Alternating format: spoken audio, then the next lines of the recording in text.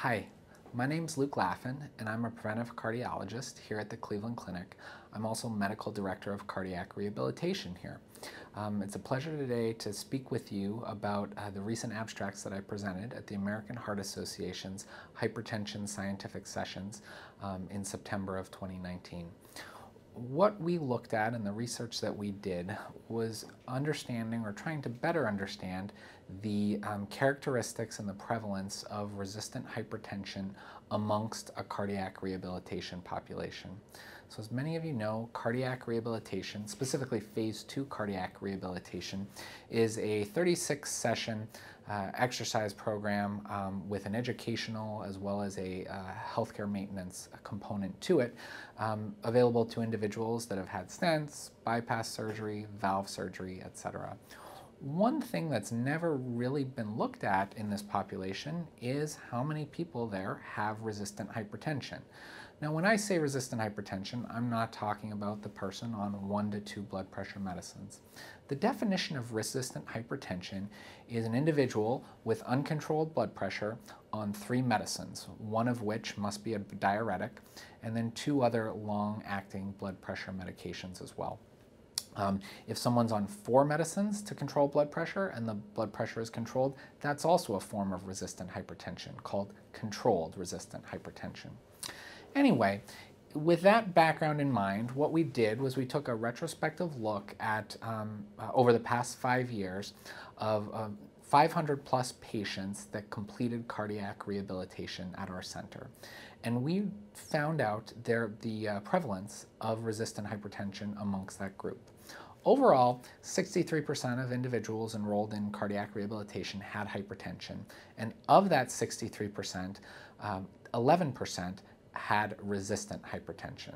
So, taken as a total out of all the completers of cardiac rehabilitation, about 7% had resistant hypertension.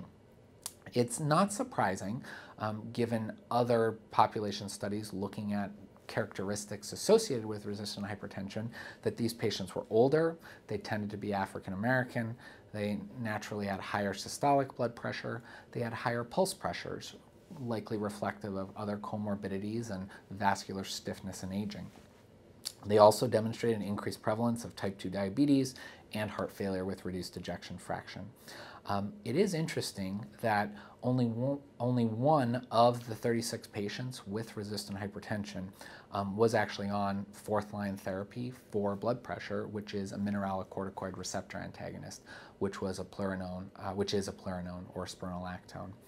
Um, additionally, um, before I came, um, only about five to five out of the 36 were actually seen by a hypertension specialist. So it was really important, and I think it's important to understand that cardiac rehabilitation not only provides an opportunity for patients to be to perform a medically supervised exercise program, but to also take care of risk factors. Our exercise physiologists are great at monitoring blood pressure. Um, they get educational component um, to the cardiac rehabilitation as well, talking about healthy lifestyle choices, which all play a role in the control of blood pressure. Um, understanding this prevalence and characteristics is important, but we also wanted to look at some outcomes and see, well, how did those patients do, uh, those patients with resistant hypertension, how did they do compared to other patients without uh, resistant hypertension? Well, we found a few things. One, we found that their exercise capacity um, to start cardiac rehabilitation was significantly lower than those individuals without, um, without resistant hypertension we found um, that their exercise capacity in those that completed cardiac rehabilitation increased a similar percentage to those without resistant hypertension. So that's a positive sign. But um, they also, when they finished cardiac rehabilitation, they had less exercise capacity um, altogether. Um, we also found that those participants with resistant hypertension were more likely to be hospitalized within the next two years um, following completion of resistant hypertension. Again, highlighting the need to recognize this uh, patient population and this subgroup and really refer them and get them into appropriate care. Thank you very much for your time um, and listening to this. For all the um, clinicians out there, I think it's just important to understand how cardiac rehabilitation can affect your patients.